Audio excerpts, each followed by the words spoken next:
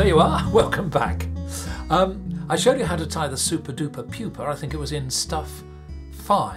So I'm going to try and demonstrate now how to put together this quick tie mayfly. Um, have a look at the market in wings and bodies. Um, I've tried lots of them and I've sort of chosen my three or four favourites to show you. Let's start off. These are real wings. They're from Lakeland Fly Tying. Uh, if you go to Lakeland website, Nigel's a good man there. He gets some very, very good product in. They're a little bit fine uh, for this particular fly, but they're very good on other flies. Um, Veniard also do. These are Jim's Mayfly wings, Jim's wings. These are a little large for what I'm doing at the moment, but very good and very decorative, a nice wing. Um, Veniard also do little bodies like that, nice little bodies, as do Grip. They distribute a scientific fly. There we are, little bodies, very nice. Uh, but for this particular fly, I like the Hemingway product. I like their bodies here. You see, they're quite quite nice, look very realistic. And their wings. Now these wings come in all sorts of sizes and colours and I've used small and I think it what's the colour? Tan, I think. Small and tan, that's it, yeah. Right, uh, so you put the hook in the vise um, and we run the thread which is called, he said, yes, it's called sheer in a sort of light yellow colour and what he hasn't done, of course, is put on his tying glasses, otherwise we'll be fumbling. Oh dear. Age creeps on. Never mind. Here we go. You put the put the th thread on the hook. Oh dear. It's going to be one of those days, I think. And run the thread down and you stop it between the point and the barb or thereabouts. All right. And snip off your thread like that. Now, the bodies. As you will see for this particular fly, the body is rather too large. So what I do is I cut it down. I'll cut it at an angle like this. There we go, little angle. So when you put it on the on the hook, it sits just nicely. I also cut a tiny slit in the front like that so that when I tie it in, it sits neatly either side of the hook. Very difficult for you to see, but I hope I've described it well enough. So, we hold the tail of the fly in position. We do a couple of light wraps just to position it. Like this. Then we come back over the main body again, like that, to make sure it's absolutely going to stay where I've put it. Okay, there we are. There we are. So that's about right for that. The next thing to do is to tie on the two wings. Now, there is a little problem because these wings, they, they don't peel off.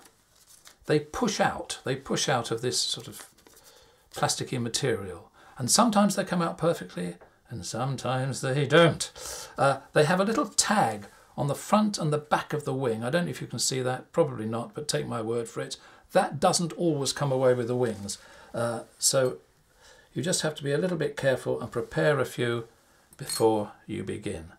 So you hold the wing over the body like this, halfway down the hook, couple of turns of thread to hold it in position, like that, and then come in between the wings and do a little figure of eight wrap, one there and one there, Hold the wings together, sorry you can't see this, and give a little pull. And then wind behind, behind, behind, like that, until the thread is hard up against the tail. All right. Now, I make the, um, make the dubbing out of two CDC feathers. There they are. There's an olive one and a yellow one. And what we do is we put them top to tail, like that, and we take them and we put them in our feather folder. Now, you can use a Marc Petitjean um, block to, to, fold them in. Uh, I like them, but I also like this one I use here on my vise, which is from RG France. And you take the two feathers and you put them into the block like this. You push down till they're folded in two. You take your scissors and you cut off the ends like this. One off there, one off there. Take your clear clip get hold of the feather, take it out, so it looks like that, and then cut down the stem. One, turn it round, and two, like that. There we are. Then move back to your thread and take your sewing machine needle, which has secreted itself over there, here we are, sewing machine needle, and split the thread. You will be told that it's difficult to split this thread. It's not. Simply put your nail under the thread like this, put the point into the thread, and there you have it, a split thread. Then, ta-da, where's it gone? Where have I put it? It's down here, jolly good. Take the CDC, put it in between the split thread, remove the clip and then tighten the thread.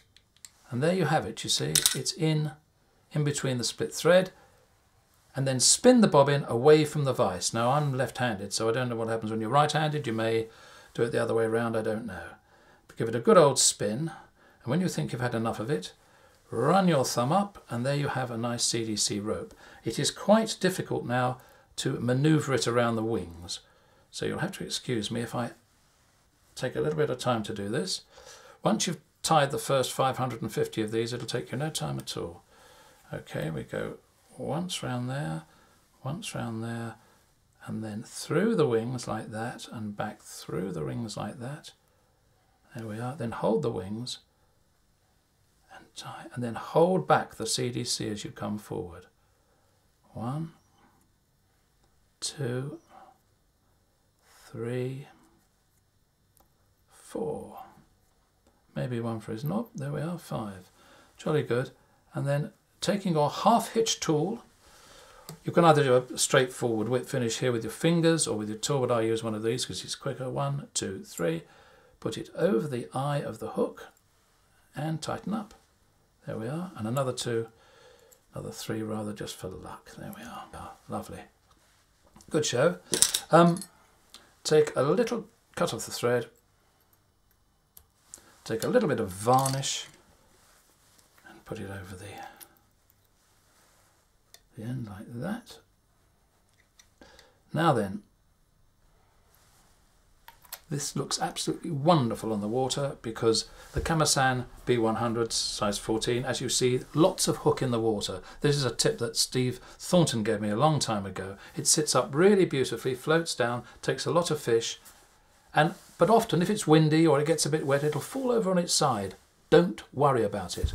I remember when I was fishing uh, the Avon many, many, many years ago, um, and I was fishing a big fan wing mayfly, and the keeper said, uh, having trouble with those? I said, yes, I know, it keeps twisting the tippet. He looked me straight in the eye, said, don't worry about it.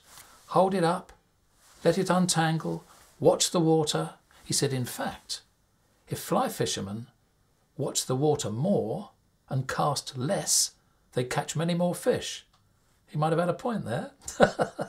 anyway, you, the, the fly, as I say, sometimes falls over on its side. Don't worry about it. It just looks like a fly struggling in the surface film. All that CDC holds all the little air bubbles, looks like legs when the fish looks up at it. That's about it for this one. Say goodbye, Ian. Goodbye, Ian. Nothing changes. Tight lines, tight threads. Catch a big one, and I'll see you next time. Now, if you'd like to see a lot more flies, a lot more fun, and a lot more of my stuff, go to my website. It's at www.chrissandford.com.